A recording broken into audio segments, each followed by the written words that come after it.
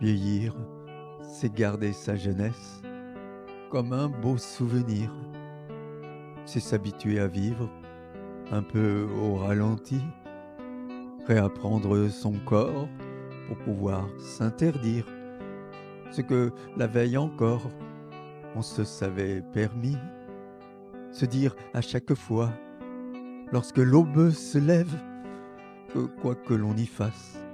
on est plus vieux d'un jour à chaque cheveu gris, se séparer d'un rêve et lui dire tout bas un adieu sans retour. Vieillir, c'est se résigner à rester sur le rivage, espérer pour ses fils un avenir heureux, c'est vivre dans son coin sans devenir sauvage,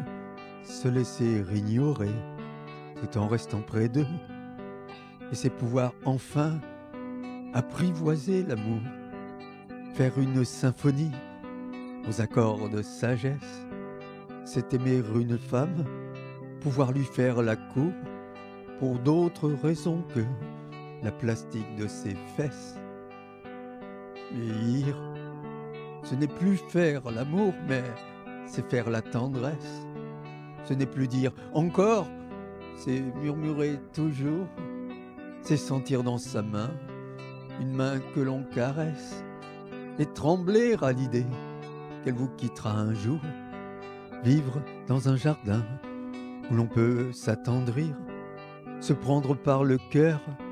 et lui dire je t'aime, avouer qu'on l'a trompé, mais osera-t-on lui dire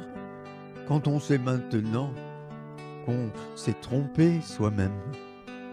Vieillir, c'est s'inquiéter soudain du salut de son âme. Entrer dans une église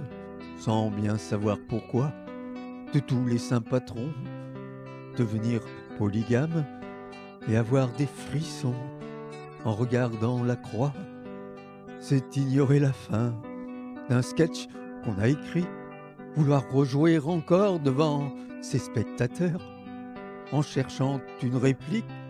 ou bien un mot d'esprit, tout en sachant très bien qu'on n'en est pas l'auteur. Vieillir, c'est s'en aller un jour,